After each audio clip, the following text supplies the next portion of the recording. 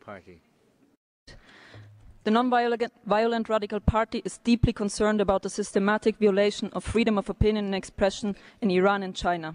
These two countries are spearheading the list of imprisoned journalists worldwide, with at least, at least 34 journalists in jailed on December 1, 2010, according to a recent report released by the Committee to Protect Journalists. In addition, Reporters Without Borders considers them world's top violators of internet freedom, highlighting that China's Great Firewall is the world's most consummate censorship system. Since the protest following the June 2009 presidential elections, the Iranian government is sustaining a widespread crackdown on journalists and press. Dozens of critical reporters have been detained since then. Many of them were sentenced to harsh prison terms to up to 10 years on charges like propagating against the regime, while the only thing they did was carrying out their work. When it comes to China, the scenario is frighteningly similar.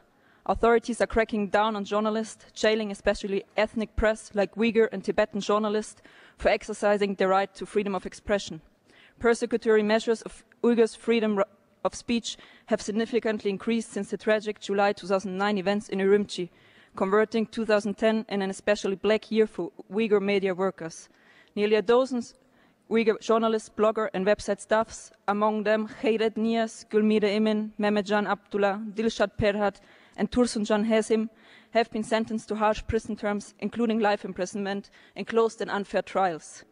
Most of them were convicted on charges of endangering state security, charges that are regularly and arbitrarily misused by Chinese authorities to silence peaceful Uyghur dissent.